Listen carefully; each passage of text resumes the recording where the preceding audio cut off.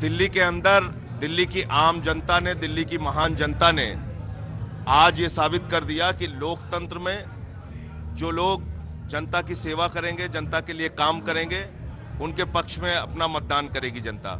उनचास दिनों का जो आम आदमी पार्टी का काम था, जो उनचास दिनों में हमने बिजली, पानी, चिकित्सा, शिक्षा जैसे मुद्दों को समाधान करने की कोशिश की थी, रिश्वतखोरी कम करने की कोशिश की थी, उसके पक्ष में आज दिल्ली की जनता ने ज़बरदस्त मतदान किया है और ये दिल्ली की महान जनता की जीत है।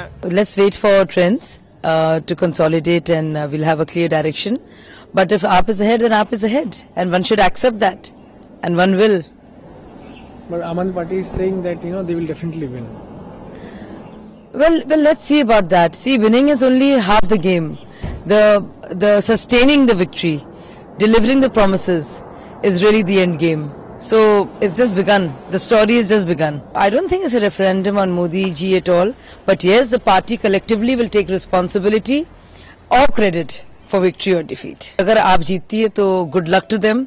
और उनका अभी काम शुरू होता है बस जीत तो एक पहला एक कदम होता है उसके बाद सारे के सारे काम पर डिलीवरी प्रॉमिस जो उन्होंने किए हैं बड़े बड़े वादे तो वादे उन्होंने बहुत से कर दिए हैं लेकिन वो चाहते हैं कि वादों की पूर्ति नरेंद्र मोदी जी करें ये गलत है। हम सामूहिक नेतृत्व में लड़े थे।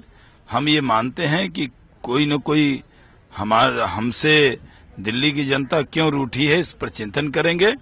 लेकिन, ये रुझान है और नतीजे आते आते हमें लगता है कि इसमें अभी भी उम्मीद पे दुनिया कायम है। दिल्ली में क्योंकि कांग्रेस पार्टी पूरी तरह से खत्म हो गई और जो कांग्रेस का वोट है, वो आम आदमी पार्टी की तरफ़ शिफ्ट हो गया। इसी वजह से इस तरह के नतीजे आ रहे हैं। हमारा जो वोट है वो इंटैक्ट है, लेकिन कांग्रेस का जो वोट है वो आम आदमी पार्टी की तरफ़ शिफ्ट हो गया, इसलिए ये नतीजा आए दिल्ली चुनाव के जो रुझान आ रहे हैं, उससे ये स्पष्ट है कि जो सारे मीडिया ने और लोगों ने राजनीतिक गुरुओं ने कांग्रेस को पूरी तरह से नजरअंदाज कर दिया था, ऐसा नहीं है।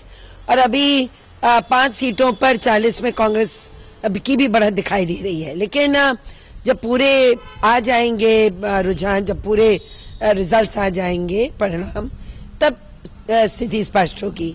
पर एक बात तो साफ़ है कि भारतीय जनता पार्टी हारने जा रही है। Let's wait it's just a matter of an hour or two so let's just wait for the full results to come out only then I will be able to react the Congress is far behind as compared to the other parties well it's not like that it's if you look at even if we are getting two out of 10 or 12 odd seats so it is better than the exit polls at least